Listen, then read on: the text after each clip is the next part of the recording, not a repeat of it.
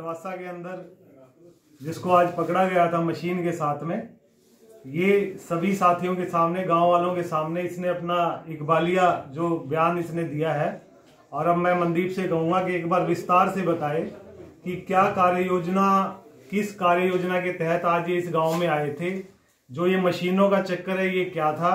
इसने वादा किया है कि सारी बातें सच सच आप सबको बताएगा।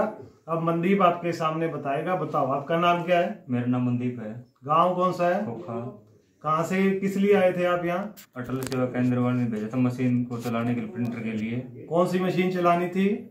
जो ब्लूटूथ से कनेक्ट होती वो। अच्छा क्या आप, कैसे तुमको किसने मतलब बुलाया था? किस पार्टी के लिए तुम काम कर रहे हो? ये भाजपा वाले ने। भाजपा वालों ने बुलाया था। तो क्या तुमको कैसे ट्रेनिंग कैसे क्या दी गई थी? ट्रेनिंग मशीन कनेक्ट करने के लिए फिर उसको पर्ची निकालने के लिए। अच्छा फिर उसका क्या मकसद था पर्ची निकालने का? पर्ची निकालने का वो वोट पड़ जाएगा भाजपा के कैसे पड़ेगा मशीन से वोट भाजपा को? ब्लूटूथ के द्वारा। ब्लूटूथ के द्वारा। इसका मतलब जो मशीनें अंदर रखी हुई है वो ब्लूटूथ से अटैच है? शायद। शायद?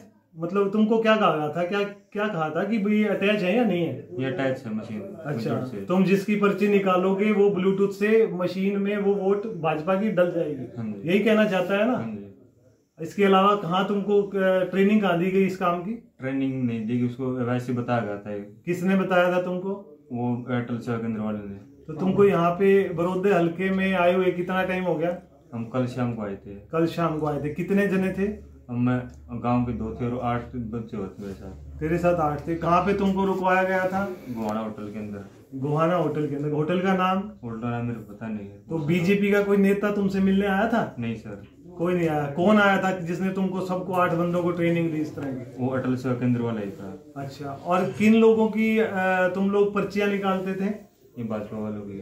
जो भाजपा की वो भाजपा की पर्ची निकालते थे। हम्म। और जिसकी तुम पर्ची निकालते थे वो वोट मशीन में तुम कह रहे हो डल जाएगी भाजपा की। हाँ यही कह रहे हो ना तुम? हाँ इसके अलावा और कितने पैसों में बात हुई थी तुम्हारी? चार सौ रुपये तुम्हारी एक दिन की दिहाड़ी चार सौ रुपए थी। हाँ अच्छा इसके अलावा अब तू पकड़ा गया वो मशीन किसको दी तूने?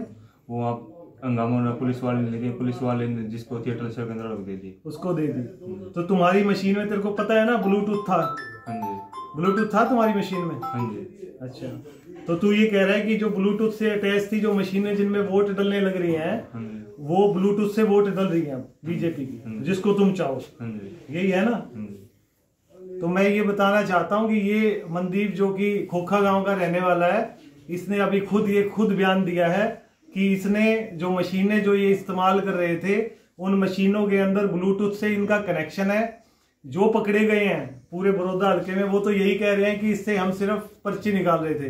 लेकिन इस लड़के मनदीप ने ये अपना खुद का बयान दिया है कि ये मशीनें ब्लूटूथ से जुड़ी हुई थी और जो ये पर्ची निकाल रहे थे, वो वोट मशीनों में डलने लग रही है। यही बात है ना? मैं यही कहना चाहता हूँ कि बहुत बड़े स्तर पर बीजेपी सरकार धांधली कर रही है और इस धांधली में जो लड़का मनदीप जो चार सौ रुपए की, कह रहा है मेरे को, दिहाड़ी पे लाया गया था इनको कल शाम को गोहाना होटल में रोका गया था और होटल में इनको ट्रेनिंग दी गई थी कि किस तरह तुमने पर्चियाँ निकाल के वोट डलवानी है।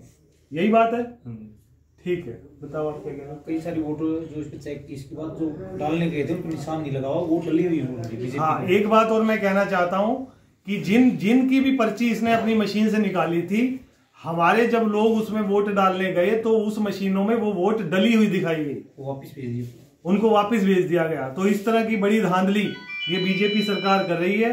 मैं सबको ये सचेत करना चाहता हूँ कि सब अपने बूथों पे अलर्ट होके इन बीजेपी के जो ये पर्दाफाश हुआ है, इसका ज़्यादा से ज़्यादा इसको फैलाएँ। ये हमने गाँव बनवासा के अंदर इस भाई को पकड़ा हुआ है और इसने खुद ये बयान दिया है कि ये गड़बड़ी में थे और जिसकी ये पर्ची निकाल रहे थे, उसकी वोट सीधी मशीन में डलने लग रही है। टोटल 125 125 आ रहे हैं टोटल ये।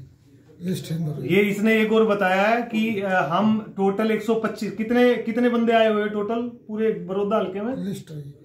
बड़ौदा का मेरे पता नहीं कितने हैं हम तो आठ या दस बंदे। ये लिस्ट कहाँ है? लिस्ट फ़ोन तो बता रहा फ़ोन में इसके में? फ़ोन में। इसके फ़ोन में है? फ़ोन में लिस्ट लिस्ट है। कितने बंदों की लिस्ट है? उसमें तो एक सौ छप्पन होगा शायद। एक सौ छप्पन बंदों की लिस्ट बता रहे है ये जो पूरे बड़ौदा हल्के में बीजेपी ने भेजे हैं। तो इसका पर्दाफाश कीजिए और इसका ये हमारे पास है हमारे उसमें है ये। मनदीप गाँव बनवासा के अंदर, और जो भाई कोई बात पूछना चाहता है, वो हमसे संपर्क करके, कार्यालय में संपर्क करके बताए, और इसमें सारे अलर्ट होके पूरे बड़ौदा हल्के में इस बीजेपी की जो पर्दाफाश हुआ है, इसको ज़्यादा से ज़्यादा फैलाए। धन्यवाद।